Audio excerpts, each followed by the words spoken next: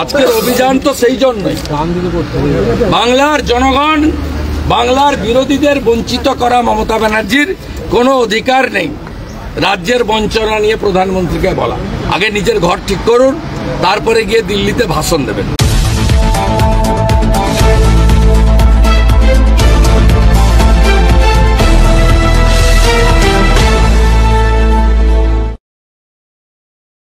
ঘোষ বিশাল লামা এবং চন্দনা বাউরি শ্রীমতী, আমরা ওখানে গেছি। এবং যাওয়ার আগে মাননীয় চিফ সেক্রেটারির পিএকে আমার অফিস থেকে ফোন করা হয়েছে। ফোন করে বলা হয়েছে, আমরা বিরোধী দলনেতা মিট করতে চান। উনি হ্যাঁও বলেননি, নাও বলেননি, এই বলছি, জানাচ্ছি, আধ ঘণ্টা অপেক্ষা করুন। আমরা গেছি এবং আমাদেরকে সেখানে অ্যালাউ করা হয়েছে। আমরা চিফ সেক্রেটারির ওয়েটিং রুমে খানিকটা বসেছি, তারপরে উনার কাছে আমাদের বক্তব্য রেজিস্টার করেছি। উনি একটা সময় আমাকে বলছিলেন, যদি স্যার রিটিন কিছু থাকে দিন। আমরা কিছুদিন আগেই অতিরিক্ত বর্ষণ এবং ধানে ধলদা কাটার নামে কৃষকদের যেভাবে ডিপ্রাইভ করা হচ্ছে, তার রিটিন কমপ্লেন আমরা দিয়েছিলাম। আমাদের দুদিন আগে উত্তরবঙ্গের এমএলএ নিউরো সার্জেন নিয়ে মুখ্যমন্ত্রীকে চিঠি দিয়েছেন। আপনারা আমাদের কথা তো দূরের কথা, চিঠিকে পর্যন্ত প্রাপ্তি স্বীকার করেন না। তাই আপনাদের কাছে আমরা মুখেই বলছি, রেকর্ড করে নিন। আমি রেকর্ড করেছি ওনাকে রেকর্ডিংটা পাঠিয়েও দিয়েছি। তাতে আমাদের প্রথম ডিমান্ড হচ্ছে, পশ্চিমবঙ্গে জনগণকে বঞ্চিত করছে এই তৃণমূল কংগ্রেস সরকার। শৌচালয়, আবাস যোজনা, প্রধানমন্ত্রী কিষাণ সম্মান নিধি থেকে হার ঘর, জল সে জল, বার্ধক্য, বিধবা ভাতা, নানা চাকরি দিয়ে সর্বস্তরে মানুষকে বঞ্চিত করছে এই সরকার। যিনি রাজ্যের ষাট লক্ষ সরকারি কর্মচারীকে বঞ্চিত করছেন, যিনি রাজ্যের পেনশনারদের বঞ্চিত করছেন, যিনি রাজ্যের মেধাযুক্ত কর্মপ্রার্থীদেরকে চাকরি দেওয়ার ক্ষেত্রে বঞ্চিত করছেন। যে রাজ্য থেকে পঞ্চাশ লক্ষ লোক পরিযায়ী শ্রমিক হিসেবে বাইরের রাজ্যে যায় কাজ থেকে বঞ্চিত করছেন। সেই রাজ্যের মুখ্যমন্ত্রী, প্রধানমন্ত্রীর কাছে গিয়ে বঞ্চনার কথা উনার মুখে অন্তত মানায় না। দ্বিতীয় অভিযোগ আমরা করেছি, প্রধানমন্ত্রী ফসল বীমা যোজনা, আয়ুষ্মান ভারত, কেন পশ্চিমবঙ্গকে যুক্ত করা হয়নি? আমরা বঞ্চিত। আপনাদের এই ঢপের চপ স্বাস্থ্যসাথীর কার্ড পশ্চিমবঙ্গের বাইরে কোনো হসপিটাল নেয় না, ছুঁড়ে ফেলে দেয়। আমরা আয়ুষ্মান ভারত এবং ক্রপ ইন্স্যুরেন্স পিএম চাই। আমরা বলেছি বিশ্বকর্মা যোজনায় আমাদের রাজ্যে সিএসসি তুলে দিয়ে বিএসকে চালু করে বিশ্বকর্মা যোজনায় বিশেষ করে ওবিসি এবং এসসি সমাজ, যারা কারুশিল্পী তাদেরকে আপনি বঞ্চিত করছেন। সব রাজ্যে প্রিপারেশন কমপ্লিট তালিকা কমপ্লিট এই রাজ্যে ডিএমরা মিটিং করেন না। উজালাতে পঁচাত্তর লক্ষ নতুন গ্যাস কানেকশন দেবেন প্রধানমন্ত্রী। আমাদের রাজ্যে বোন, দিদি, মারা নতুন উজালা কানেকশনের প্রেয়ার করতে পাচ্ছেন না। এবং সাথে সাথে যেটা শেষ অভিযোগ বিজেপির councillor panchayat member MP MLA এদের প্রশাসনের কোনো মিটিংয়ে ডাকা হয় না। এবং সম্প্রতি মুখ্যমন্ত্রী উত্তরবঙ্গে যে কটা জায়গায় পাবলিক ডিস্ট্রিবিউশন করেছেন, সেখানে বিজেপি এমএলএ হওয়ার বা এমপি হওয়ার সুবাদে আমাদের জনপ্রতিনিধিদেরকে মর্যাদা দেয় না।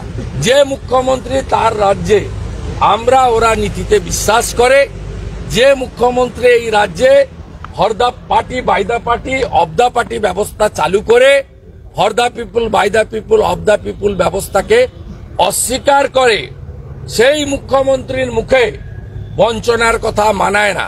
যিনি দার্জিলিং এর পাহাড়ের নেপালি গোর্খাদের বঞ্চিত করেছেন, চা বাগানের শ্রমিকদেরকে বঞ্চিত করেছেন, ভুয়া পাট্টার নামে তাদের ভোট নেওয়ার জন্য লোক দেখানো জরিপ করছেন, যিনি জঙ্গলমহলে কুর্মী আদিবাসী বাউরি সমাজকে বঞ্চিত করছেন, যিনি ওবিসি হিন্দু সমাজকে বঞ্চিত করছেন, যিনি সুন্দরবনে মানুষকে ন্যূনতম পরিষেবা দিতে পারেন না, স্বাস্থ্য পরিষেবা। সেই মুখ্যমন্ত্রীর মুখে আর রাজ্যের বঞ্চনা মানায় না, পরিশেষে আমরা ভ্রষ্টাচারী, চুরি দুর্নীতিতে নিমজ্জমান মমতা ব্যানার্জির মুখোশ খোলার জন্য রাজ্যের সচিবালয় যেটা কোনো পৈতৃক কারোর সম্পত্তি নয়। সেখানে দাঁড়িয়ে আমরা আমাদের বক্তব্য, প্রতিবাদ রেজিস্টার করেছি যে ড্রামাবাজ, মিথ্যাবাদী, পরিবারবাদী তোষণবাদী এবং সর্বোপরি দুর্নীতির আখণ্ড অভিযোগে নিমজ্জমান। এই মুখ্যমন্ত্রীর কোনো অধিকার নেই। প্রধানমন্ত্রীর কাছে গিয়ে রাজ্যের আর্থিক বঞ্চনা নিয়ে বলার। আজকে যেভাবে আপনি মুখ্য সচিবের ঘরে একেবারে পৌঁছে গেলেন বিধানসভা থেকে বেরিয়ে কেউ কেউ বলছে শুভেন্দু অধিকারী মমতা ব্যানার্জিকে দশ গোল বলবেন? আমি কিছু বলব না। আমি মুখোশ খুলে দেওয়ার চেষ্টা করেছি। বাংলার জনগণ দেখেছেন। বাংলার জনগণ এর আগে পঙ্কজ ব্যানার্জিকে দেখেছেন পার্থ চ্যাটার্জিকে দেখেছেন সূর্যকান্ত মিশ্রকে দেখেছেন কংগ্রেসের বিরোধী দলনেতা দেখেছেন। বিজেপির দল এমএলএ এবং বিরোধী দলনেতাকে দেখছেন। আমি বিশ্বাস করি জনগণ যে উদ্দেশ্য নিয়ে বিজেপিকে একমাত্র বিরোধী দল করেছিল আমরা সেইটাকে মর্যাদা দেওয়ার চেষ্টা করি প্রতিদিন প্রতি মুহূর্তে প্রতিটা বিষয়। আচ্ছা কল্যাণ বন্দ্যোপাধ্যায়কে নিয়ে যে মন্তব্য উপরাষ্ট্রপতিকে নিয়ে কল্যাণ বন্দ্যোপাধ্যায়ের যে মন্তব্য মুখ্যমন্ত্রী সেক্ষেত্রে এখনও পর্যন্ত কিছু বলছেনই না কার্যত পাশের মুখ্যমন্ত্রী বলার দরকার নেই। মুখ্যমন্ত্রী এর আগেও রাষ্ট্রপতি মহোদয়াকে নিয়ে তার এক মন্ত্রী, হাফ মন্ত্রী, খারাপ কথা বলেছিলেন। তাকে মুখ্যমন্ত্রী কার্যত অনেক পরে লোক দেখানো তিরস্কার করেছেন, কোনো ব্যবস্থা নেননি। মুখ্যমন্ত্রী এগুলো নিজেই মুখ্যমন্ত্রী, প্রধানমন্ত্রীকে কোমরে দড়ি পরাবো বলেছিলেন। প্রধানমন্ত্রীকে বলেছিলেন যে কিম্বুত কিমাকার সেই প্রধানমন্ত্রী এখন পা ধরছেন, টাকা দিন এই মুখ্যমন্ত্রী প্রধানমন্ত্রীকে আক্রমণ করেন, সরকারি মঞ্চ থেকে আক্রমণ করেন। আমলাদের বসিয়ে রেখে আক্রমণ করেন। তাই ঝাড়ে বাঁশ একই রকম হয়। মমতা ব্যানার্জির ঝাড়ে তার বাঁশ আলাদা হয় না। মমতা ব্যানার্জির মুখ যেমন তেমনি আমাকে বিধানসভার ভিতর তুই তাকারি করে। যেমন ঝাড় তেমন বাঁশ নো প্রবলেম কিন্তু আপনাদের বলি মহামান্য রাষ্ট্রপতি মহোদয় আজকে রিয়াক্ট করেছেন সোশ্যাল হ্যান্ডেলে এবং সুপ্রিম কোর্টের একজন লয়ার এফআইআর করেছেন। ওটা কলকাতা নয় বিনীত গোয়েল নেই। মনোজ মালব মালব্য নেই। ব্যবস্থা হবে এবং আমি আশা করি দিল্লি পুলিশ এই অর্বাচীনদের বিরুদ্ধে যথোপযুক্ত ব্যবস্থা গ্রহণ সাংবিধানিক পদে যারা আছেন তাদেরকে এভাবে অপমান প্রতিনিয়ত এটা কি তৃণমূলের ডিএনএ তে রয়েছে? তৃণমূলের ডিএমএ আছে। তৃণমূল কোনো দল নয়। কিছু উচ্ছৃঙ্খল তোলাবাসদের একটা জঙ্গি সংগঠন। অভিষেক বন্দ্যোপাধ্যায় আজকে কীভাবে গেলেন? অভিষেক বন্দ্যোপাধ্যায় কোন ভূমিকায় গেলেন? আমি বলতে পারব। ওরা সাংসদ চেয়েছে প্রধানমন্ত্রী দশ জনকে অ্যালাউ করেছেন তার অফিস তা দশ জন কে যাবেন সেটা তো মালিক ঠিক করবে। আর মালিক কখনো উত্তরসূরি বা পরিবারের লোককে বাদ দিয়ে যেতে পারেন না। এই পরিবারের লোক থাকবে স্বাভাবিক।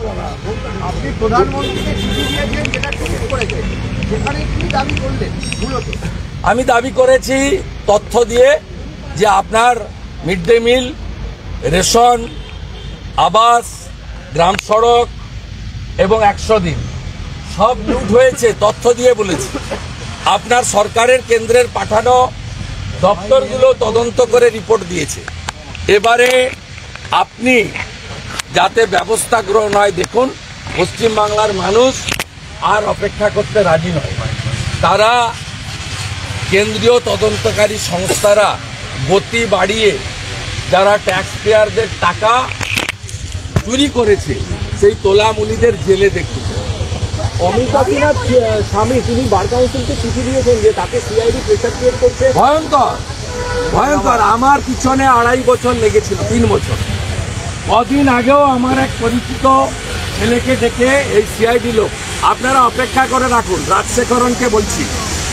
শুনে রাখুন আপনাকেও আমি ওই ছেলেটাকে নিয়ে ভবানী ভবনে আসছি কবে আসছে আপনাকে বলে আসব। আপনি একটা ছেলেকে ডেকে আমার বিরুদ্ধে লোক তমলুকে বলেছে এক কোটি টাকা দেব শুভেন্দু অধিকারীর বিরুদ্ধে একটা ফলস স্টেটমেন্ট কর। কিন্তু বিচারপতি স্বামীকে যেভাবে হ্যারাস একইভাবে করছে সব ফলস আমি এই রাজ্যের প্রধান বিচারপতিকে বলছি তিনি দয়া করে জাজেদের বাঁচান। জাজেদের পরিবারকে বাঁচান। Mister Bindal, mister Kaushik Chanda, mister Rajasekhar Mantha, mister Abhijit Ganguly, madam Amrita Sinha, এই রেসপেক্টেড জাজদের উপরে গত কয়েক বছর ধরে মমতা এবং তার গুন্ডারা যেভাবে আক্রমণ করছে, পুলিশ যেভাবে নিষ্ক্রিয় ভূমিকা নিয়েছে বিচারপতির বাড়িতে পোস্টার পড়ার পরেও একজনও গ্রেপ্তার হয় না।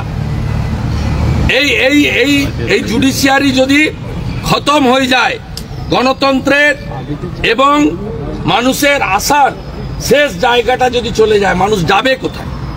আমরা ছাড়বো না।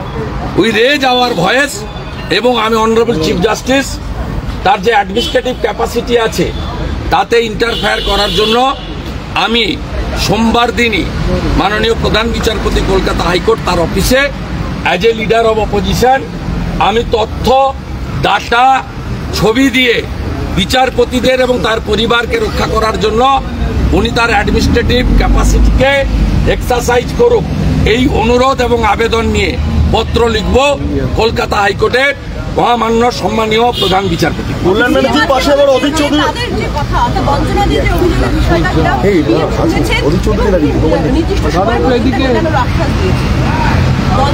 আমি পিএম এর মুখ থেকে না শুনে মিথ্যাবাদী মমতার মুখ থেকে শুনে উত্তর দেবো। আমি বল এ একটা মিথ্যাবাদী এ মিথ্যা ছাড়া একটা সত্যি কথা বলে না। এই বড় চোর মমতা ওর মুখ থেকে সব কথা শুনে বলব না। পিএমও থেকে যদি কোনো প্রেস হয় তাহলেই একমাত্র রিয়াক্ট করব। আপনি জেনে রাখুন। চোরেরা জেলে না গেলে এক টাকাও পাবেন না। নরেন্দ্র মোদীর টাকাও পাবেন নরেন্দ্র মোদীর এক টাকাও পাবেন না। এক টাকাও পাবেন না। নরেন্দ্র মোদীর বিরুদ্ধে চোরেরা জেলে না গেলে চোর মমতা এক টাকাও পাবেন না। চোর মমতা এক টাকাও পাবেন না। চোর মমতা এক টাকাও পাবেন বলছি প্রধানমন্ত্রীর বিরুদ্ধে নরেন্দ্র মোদীর বিরুদ্ধে নরেন্দ্র মোদীর বিরুদ্ধে পাল্টা মুখ খাড়গে কি বলবেন? কিছু বলব না, জনগণই বলে দিবে।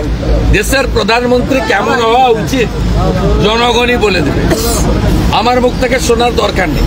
এটাতে ভারতীয় জনতা পার্টির অনেক ইজি হয়ে গেল, আর নরেন্দ্র মোদীর যে ব্যক্তিত্ব, নেতৃত্ব, তার কোনো বিকল্প নেই। লোকসভা নির্বাচনে গণনার দিন এটা প্রমাণ হয়ে যাবে। আর তৃণমূলের ওই যে ভাঙা থালা বাজানো। যে বাংলার প্রধানমন্ত্রী, তা বাংলার প্রধানমন্ত্রী এখন কি হবে? বাংলার প্রধানমন্ত্রীর কি অবস্থা এখন? অতএব আমি মনে করি, জনগণই সঠিক সময়ে উত্তর দিয়ে দেবে। নরেন্দ্র মোদী চারশোর বেশি আসন নিয়ে তৃতীয়বারের জন্য প্রধানমন্ত্রী হবে। দেশের মানুষ বুদ্ধ নয়, মূর্খ নয়, তারা অবিবেচক নয়। তারা আমাদের দেশকে গাজা ভূখণ্ড আফগানিস্তান ইউক্রেন হতে দেবেন